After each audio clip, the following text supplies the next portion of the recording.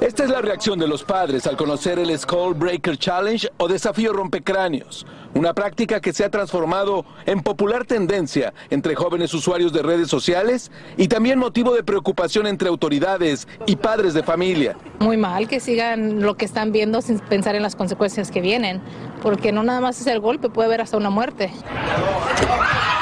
El controversial reto incluye a tres personas de pie. Las de los extremos, en previo acuerdo, piden a la del centro que salte y justo en el momento que desciende, patean las piernas de la víctima, provocándole una aparatosa caída. Caída que podría tener consecuencias funestas. ¿Qué le diría a sus hijos? Pues que ni lo intentaran, o sea, es algo se ve muy peligroso.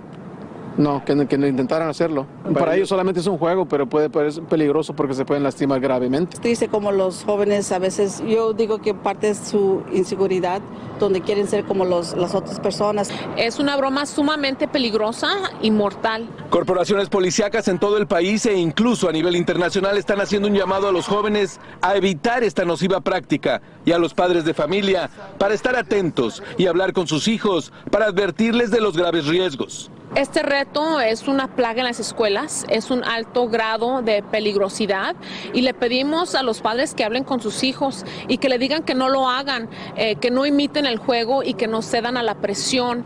La portavoz del departamento del sheriff de Los Ángeles hace énfasis en que además del daño físico que puede ocasionar, esta peligrosa broma puede tener graves consecuencias legales. Existe una responsabilidad cuando usted causa daño a otra persona.